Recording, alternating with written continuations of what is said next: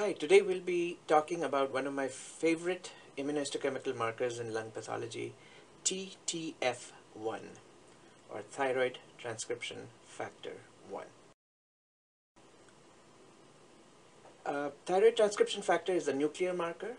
Uh, like other nuclear markers we've talked about in some of the other videos like uh, PAX8 or GATA3 and it stains lung epithelium, especially alveolar pneumocytes and uh, thyroid epithelium, specifically thyroid follicular cells.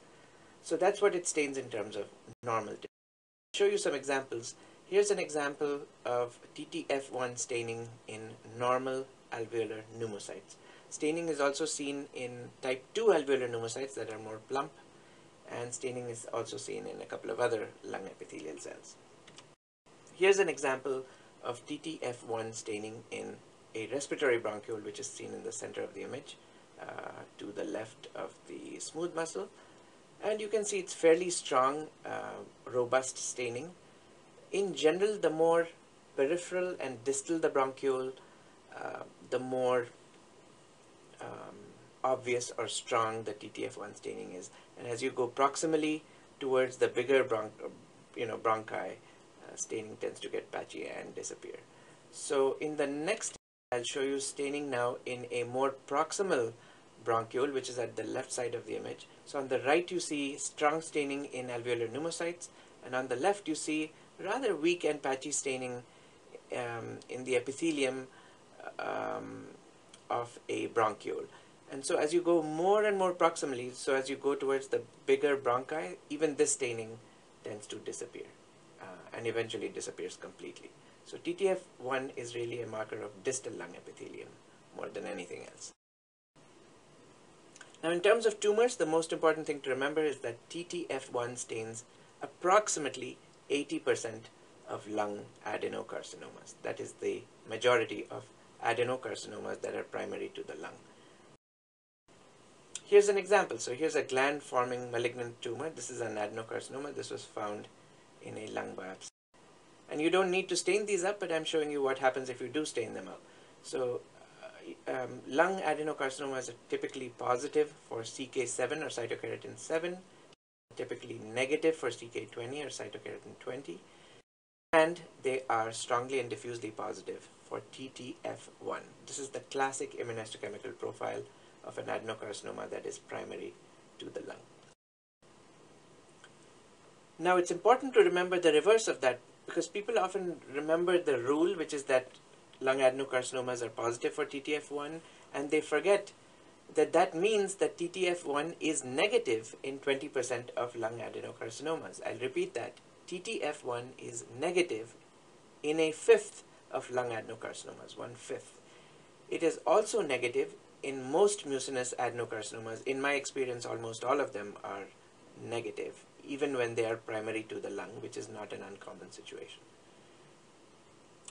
Finally, in an adenocarcinoma of, of an unknown primary, in let's say a metastatic site, let's say you're dealing with the liver or, or brain, a negative TTF1 stain does not exclude a lung primary. And this follows from the fact that 20% of lung adenocarcinomas are negative for TTF1. In other words, a negative TTF1 does not exclude lung cancer. Now we come to the second lung tumor that's classically positive for TTF1 and that is small cell lung carcinoma. And the thing to remember here is that most small cell lung carcinomas are positive for TTF1 but not all of them. Um, the second thing to remember in this setting is that um, if you're dealing with a small cell carcinoma in let's say the bladder or the liver or the brain, in that setting TTF1 does not prove that a small cell carcinoma is coming from the lung. In otherwise, in other words, it's not specific for lung origin. I've seen TTF-1 staining in uh, esophageal small cell carcinoma, uh, prostate, bladder, pancreas, uh, even primary tonsillar small cell carcinoma I've seen with TTF1 positivity. So it is not a marker of lung origin for small cell carcinoma. It is uh, a much better marker of lung origin in adenocarcinomas of the lung. Here is uh, some literature search that I'd done several years ago when I was a resident, and I still find this helpful. When you look at the literature in TTF1 on on TTF1 staining in small cell carcinomas, there are several papers. Um, almost all of them have 50 cases or less, um, but they have varying degrees of TTF1 positivity in small cell carcinoma. So the paper shown at top, which is Byrd, Gloster, and Cagle, uh, is now about 18 years old, showed 97% of small cell carcinomas were TTF1 positive. The next paper down, Di Loreto and De is, is even older than that, showed 93% of small cell carcinomas positive. Uh, one of the biggest studies was Sturm, Sturm and Brambilla, showed 86%. Uh, and as you go down the table, you see even less and less and less, uh, such that in 2004, Chang et al. did a study in lung cancer which showed only 53% positive. So if you more or less average out all the papers that have been shown in the literature, uh, it comes to about 80% or, or more, slightly more than 80% of small cell carcinomas of the lung are TTF1 positive. However, again, the corollary is that as, as some proportion of small cell lung carcinomas are going to be TTF1 negative. And that's very important to remember that negative TTF1 does not rule out small cell carcinoma. Here's an example of a typical uh, small cell carcinoma of lung. Uh, high MAG shows very little cytoplasm, very small nucleoli, nuclear molding, a very high grade poorly differentiated appearance. There's some necrosis in the middle of the tumor, cells are dying. There's mitotic activity. So this is classic morphology for a small cell. As you would expect, there is this tumor is positive for keratin AE1 slash AE3 and it shows either a rim-like pattern or a dot-like pattern in, in the tumor cells. And that's really a function of the fact that there's very little cytoplasm in these cells. What happens with chromogranin to an even more severe extent is that you see very minimal staining either as a rim or a little dot uh, around the tumor cell nuclei. So this is a neuroendocrine carcinoma and this is the classic TTF1 positivity that you see in a small cell. Uh, most commonly it is strong and diffuse uh, nuclear positivity. Our fourth point is that TTF1 is consistently negative in small cell, I, am sorry, in squamous cell carcinoma, and we're talking about lung carcinoma. Um, it's consistently negative in squamous cell carcinoma of the lung, provided that you use the right clone of TTF1, and we'll talk about this in the next few slides. If you use the most specific clone, which is the one we use and we used in our uh, paper that's cited here, and that's 8 G7 G3 slash 1. This is the most specific clone of TTF1 and the best one in my experience. Then no cases of squamous cell carcinoma should be positive for TTF1. In this paper where we looked only at the poorly differentiated squamous, not the obvious ones, uh, we stained them on biopsy specimens and none of them were positive for TTF1 and on resection all of them turned out to be squamous. Um, they all had P63 positivity, for example. Um, so this should never stain squamous cell carcinomas. On the other hand, if you use a less specific clone, and that's uh, one example is uh, uh, SPT24, which some people like to use because it's more sensitive for adenocarcinomas, it is less specific and therefore it will stain some percentage of squamous cell carcinomas. In this paper by Natasha Rekhtman, 3% uh, of squamous cell carcinomas were positive. So I would suggest not using the SPT24 clone because we really rely highly on specificity when we're trying to subtype non-small cell lung cancers with TTF1. Another very non-specific clone is this clone called SP141. SP141 uh, was studied in this paper by Klebe et al. Uh, and published in 2016 and if you look at the row that's highlighted by the arrow, it shows atypical squamous lesions, um, 13 of them, 12 of which were just squamous cell carcinomas, one of which was a dysplasia.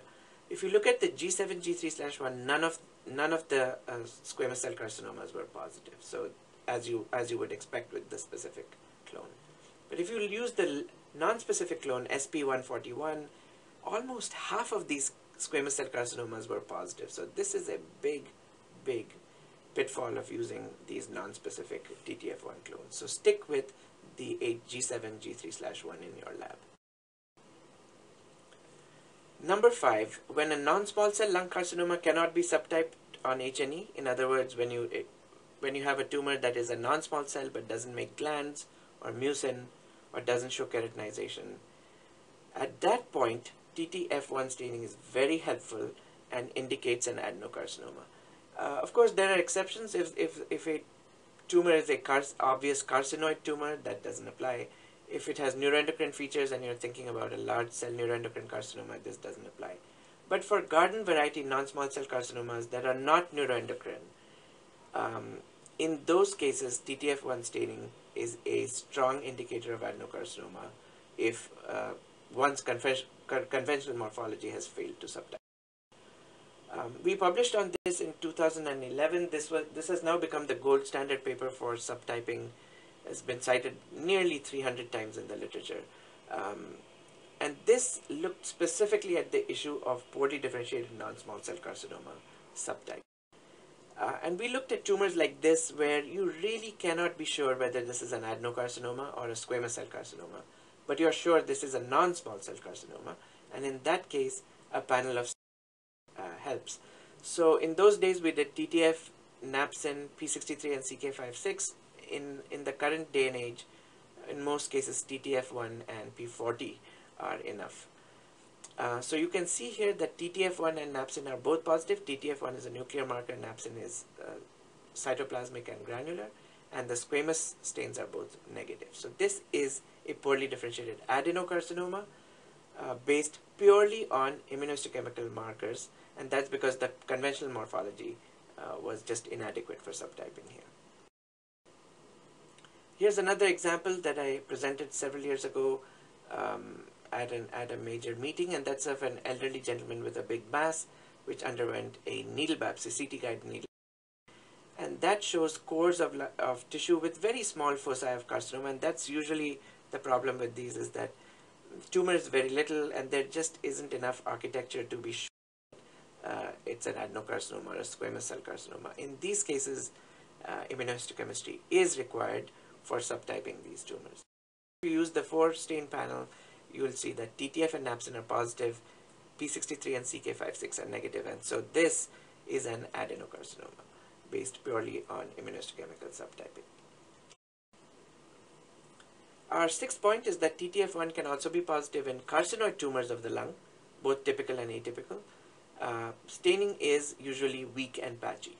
Um, most cases TTF1 is actually negative, but, but uh, can be positive in a weak and patchy fashion. And the other tumor that is uh, that can be positive for TTF1 is large cell neuroendocrine carcinoma of the lung, which is a very controversial and difficult entity. And for our last point, we'll talk about metastatic sites. So adenocarcinomas that are in metastatic sites like the, like the lymph nodes, liver, brain, soft tissues, skin, any site where you're, you're, you have an adenocarcinoma and you're wondering, could this be from the lung? And you're wondering, what could I do to to confirm that. Now, of course, the best thing to look for is that there is a lung mass radiologically, and that that goes without saying. You want to look for it, but often, even without that, uh, often often you don't have that information, or if you did have that information, there are also masses in other sites, so it's not entirely clear where the tumor is coming from. In this situation, the best profile to support a lung primary is positivity for TTF1 and napsin, and negative staining for PAX8 and the virtue of this is that it not only gives you two stains that are that should be positive in lung adenocarcinomas, it also gives you a stain that essentially excludes a thyroid primary from the differential and thus makes the likelihood of this being lung even stronger. We actually looked at metastatic adenocarcinomas in a paper that we did in 2012 when I was in Syracuse and in that we showed that when the site of the origin site of origin of a metastatic adenocarcinoma was the lung 82% of those cases stained with TTF1 so that matches up with what we know from primary lung adenocarcinomas about 80% however non-pulmonary origin cancers um, also stain for TTF1 and the big offender there is thyroid. So all nine of these non-pulmonary cases were thyroid cancers. So for that we really do need PAX8. Now I'll show you a couple of examples from tumors um, that we used in that study. So in this uh, example, there's a brain metastasis, and this tumor is positive for TTF1 and napsin. And if you could show that it's PAX8 negative, that would really prove that to the highest degree possible that this is um, a, a lung origin adenocarcinoma. Here's uh, another metastatic tumor and uh, here napsin is pretty strongly positive, TTF is only weakly positive. Now this happens but not very commonly that napsin outperforms TTF1 and that's one argument for using both TTF and napsin uh, in this situation. But in this case the site of origin was lung. Here's a case where the site of origin was breast, so notice, notice that TTF1 is negative in this tumor and mammoglobin was positive, which supported breast origin. nowadays, of course, we would use GATA3 uh, either alone or in combination with mammoglobin. In this case, uh, you can guess from the morphology that the site of origin was kidney. In uh, kidney cancers can be positive for uh, napsin A, so that's a pitfall, but they are not positive for TTF1. So TTF1 is very helpful in that. Here's a site of origin thyroid, and you might think that TTF will be positive, but napsin won't. But actually, papillary thyroid carcinomas are known to be positive for napsin A in a small proportion of cases. So in cases like that, the combination of TTF and napsin actually does not prove a lung origin. But if you could show that this tumor is PAX8 negative, that really uh, would be very helpful. In this particular case, because the site of origin was thyroid, PAX8 will be strongly and diffusely positive. We had uh, um, some endometrial mets, and in this particular case, um, the metastasis uh, was to the inguinal lymph nodes, in this particular case, napsin is positive and TTF is negative. We were one of the first uh, to ever show that napsin A could be positive in endometrial uh, adenocarcinomas, and subsequently many other people uh, confirmed this finding uh, in larger series of GYN primary cases. So remember, GYN primaries can be positive for napsin. In fact, they can ev even occasionally be positive for uh, TTF1. Again, PAX8 is very, very helpful when that is uh, the question. So to end this presentation, I leave you with this uh, message, and that is that TTF is a good marker of both lung adenocarcinoma and small cell lung carcinoma. However, it is not perfect. It's neither perfectly sensitive nor perfectly specific for these two tumors. I hope you enjoyed this presentation. Thank you for listening.